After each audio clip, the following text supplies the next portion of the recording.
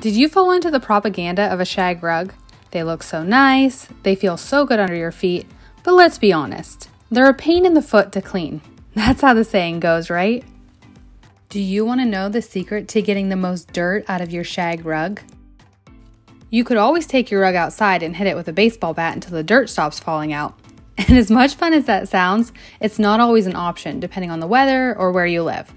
So I'm going to give you an alternative way to get all that dirt out of your shag rug. I love my shag rug because it's soft for my kids to play on and it looks nice, but it's a black hole for dirt. It gets lost as bad as a mismatched baby sock in the dryer. I mean, I know it's got to be lurking around somewhere, even if it's not seen. I'm going to share a secret with you that's going to get the most dirt out of that shag rug you love. Start by doing a quick vacuum over the top of the rug. Once you vacuum the top, here's where things start to get different. Flip your carpet over, sweep up all the dust and dirt that's fallen out of your carpet, and then vacuum the carpet while it's flipped upside down. Vacuuming underneath is going to suck up all of that dirt that's made its way to the bottom of your rug. And it's going to shake out all the dirt past all those carpet strands. That way, it's not still stuck at the base of your rug.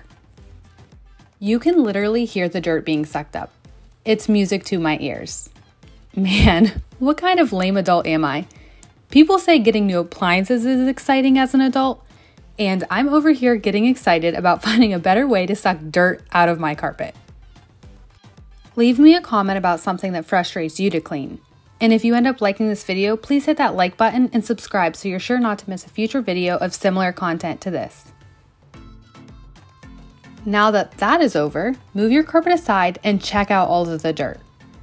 I'll even sweep it up and give you a close up. This is satisfying to me. Had I not flipped the carpet over, all of this dirt would still be chillin' like a villain in my carpet. Not today, dirt, not today.